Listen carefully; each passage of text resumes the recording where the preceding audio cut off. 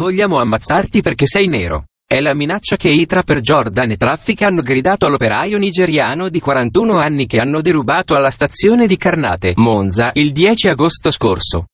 Intorno alle 16.30 l'uomo era appena sceso dal treno dopo una giornata di lavoro e stava tornando a casa. Stava percorrendo il sottopasso pedonale spingendo la propria bicicletta quando, all'improvviso, dalle scale di accesso ai binari ha visto arrivare due ragazzi a torso nudo.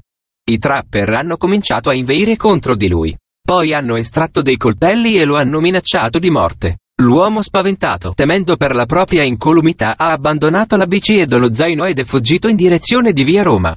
I due ragazzi lo hanno seguito, brandendo i loro coltelli, gridandogli di fermarsi, continuavano a minacciarlo di morte per il colore della sua pelle. Una volta raggiunta via Libertà, il 41enne si è voltato e ha visto che i giovani invece di seguirlo erano tornati indietro scendendo nuovamente nel sottopasso della stazione, dove hanno preso bici e zaino dell'operaio.